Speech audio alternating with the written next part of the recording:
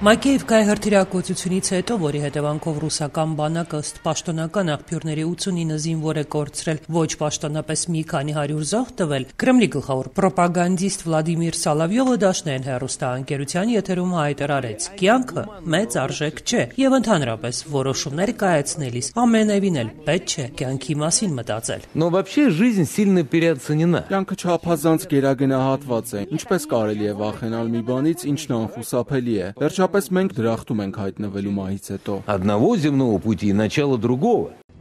Ռուսաստանցիներին, սակայն, փիլիսոփայական այս փաստարկները չեն համոզում։ Շատերին է մտահոգում եւ զայրացնում մեկ օրում զոհված հարյուրավոր զինվորների ճակատագիրը։ Շատերն էլ փորձում են հասկանալ ով է մեղավոր։ Այս պահին շրջանառվում է երկու վարկած։ Առաջինի համաձայն, որը բարձրաձայնել են ինչպես ուկրաինացի զինվորականները, այնպես էլ որոշ ռուսական աղբյուրներ, ռուսական բանակի հրամանատարությունը ամիսներ առաջ մոբիլիզացվածներին տեղավորել է առաջնագծից ընդամենը մի քանի կիլոմետր հեռավորության վրա գտնվող խոցելի մի շենքում ուկրաինական հրետանու լիարժեք հասանելիության գոտում։ Ավելին հարյուրավոր զինվորների մեկ վայրում տեղակայելուց բացի հրամանատարությունը նույն այդ շենքում նաև զենք զինամթերք է պահեստավորել, ինչի պայթյունն էլ բազմապատկել է զոհերի եւ վիրավորների թիվը։ Երկրորդ պաշտոնական վարկածի համաձայն մեղավոր են հենց զոհված մոբիլիզացվածները, որ ամանորի գիշերը միացրել ու ակտիվ օգտագործել են բջջային հեռախոսները, թույլ տալով ուկրաինական ուժերին ճշգրիտ որոշել նրանց տեղակայման վայրը։ Շարքային ռուսաստանցիները զոհվածների հարազատներն ու բարեկամները սակայն սրան չեն հավատում եւ բազմաթիվ հարցեր են բարձրաձայնում։ Մակեևկայի մասին սուտը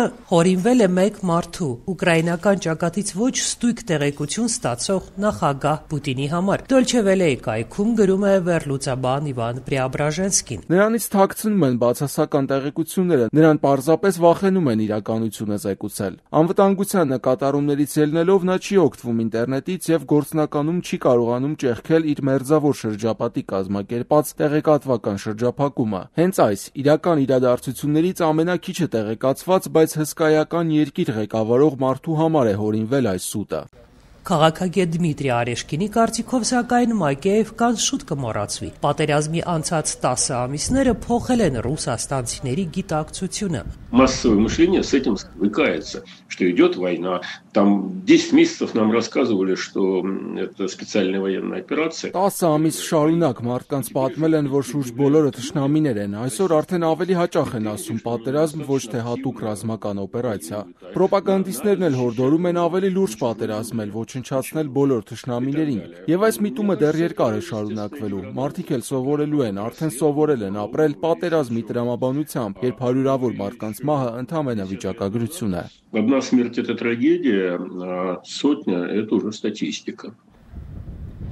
Վերլուծաբանն այդուամենայնիվ կարծում է, թե Մակեևկան դրանից առաջ ու հետո շարունակվող ձախողումներն ի վերջո հարվածելու են Պուտինի վարկանիշին, դարձնելով նրան անհաջողակ ու ոչ պոպուլար առաջնորդ։ Люди ожидали побед, люди ожидали маленькой победоносной войны, а получили тяжелую. Մարդկանց խոստացել էին արագընթաց պատերազմ, արագ հաղթանակ։ Իրականում նրանք ստացել են երկար արյունալի անիմաստ գործընթաց, որը սակայն լայն շերտեր դեռ չեն հասկացել։ Массами во всей своей глубине и во всей своей отвратительности неосознанно. Հասարակության լայն շերտերը դեռ չեն հասկանում անիմաստ պատերազմի պատճառով ստեղծված այս սարսափելի իրականությունը, եւ այդ նույն հասարակության համար այսօր հերոսներ կամ էլիտա են այնպիսի մարդիկ, ինչպիսիք Պուտինի խոհարար համարվող Եվգենի Պրիգոժինը կամ Չեչնիայի ղեկավար Ռամզան Կադիրովը։ Պրիգոժինը իդեպ բոլորովին բաց Ուկրաինայում պատերազմող իրեն պատկանող Վագներ ռազմական ընկերության համար մարդկանց է հավաքագրում կալանավայրերում։ Ուկրաինական ճակատում ըստ էության պատերազմում են նաև նրանք, ովքեր դատապարտված են եղել եղել ծանր հոդվածներով, իսկ պետական լրատվամիջոցները լուսաբանում են սա որպես շարքային նորմալ իրադարձություն։ Այսօր օրինակ պետական ՌԻԱ Նովոստին տեսանյութ է տարածել, որտեղ Պրիգոժինը 6-ամյա պայմանագրի ավարտից հետո ներում է շնորհում Ուկրաինայում կրված բանտարկյալների